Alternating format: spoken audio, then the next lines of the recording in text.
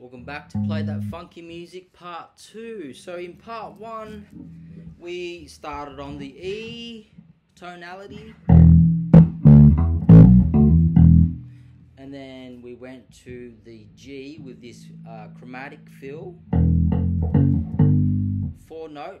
So, chromatic means just going from note to note to note. We're not skipping any notes, we're not skipping whole tones or semitones, we're hitting every note yeah?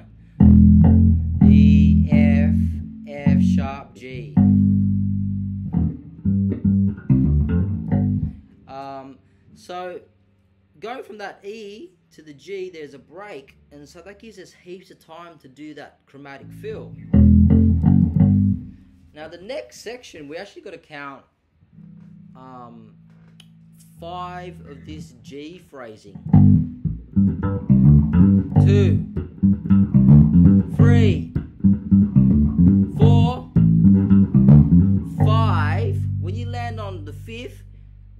throw in your chromatic fill,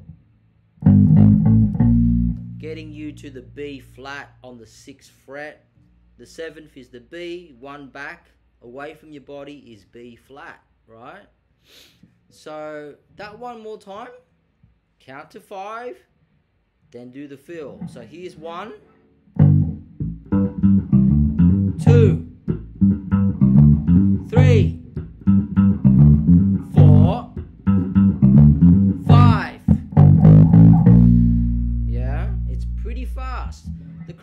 before we had a break, we weren't doing any playing. Now we're doing playing and we've got to squeeze in that fill. One more time, then we'll do with the band. G.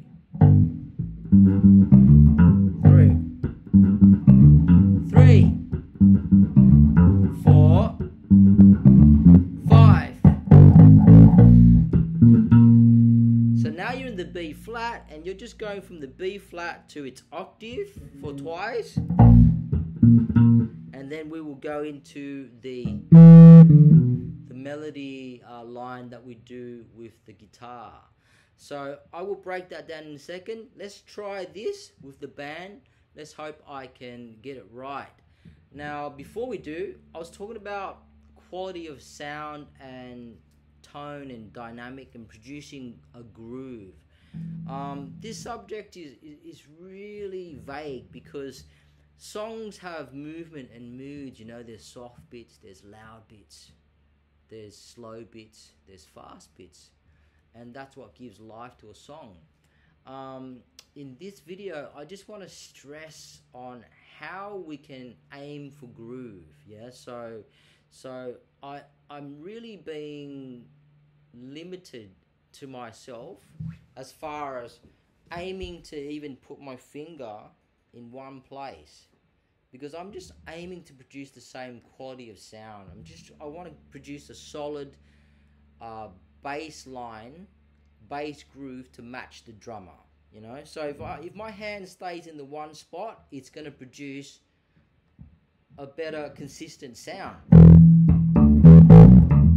because the pickup is right there. Uh, watch yourself, film yourself. You notice your hands move, and so now you're away from the pickup.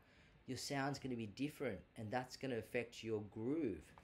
Same with your left hand. You know, the masters um, that play for a long time, they know how to use the nuances of their squeezing, how light to touch, how hard to touch to produce a sound. For this song and for our level, we just want to practice producing the same quality of sound. That's all we want. We don't want an inconsistent groove. So again, trying to produce the same volume here and trying to produce the same strength of squeeze when you're squeezing the note, yeah? Don't produce a note here and then go really soft on the next note and then go really loud on the next note. That's how you can tell a bass player hasn't been playing for a long time. You know that because you can hear me doing it. I, I go up and down in volume, and this is why I'm practicing. This is why I'm making these videos to practice with you. So here we go. Let's try it with Wild Cherry. Um, and let's try and fit in that G uh, feel to the B flat. Here we go. Break. Nothing. Here we go.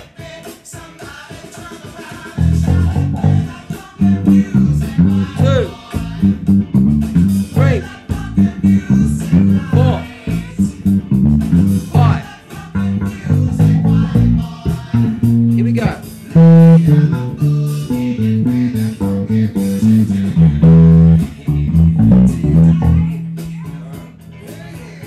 So, I got it. Lucky. I mean, I guess that's from me just trying to play and and and, and play with the band. That's how you're gonna get tight in that.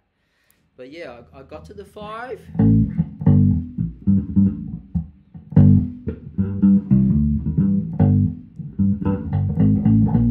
Squeezing that fill in, yeah. So if, if that was a bit too fast for you, you can go to the corner of YouTube there, slow it down, slow me down, so you can see where my fingers are. But all I'm doing is doing the fill on the E string.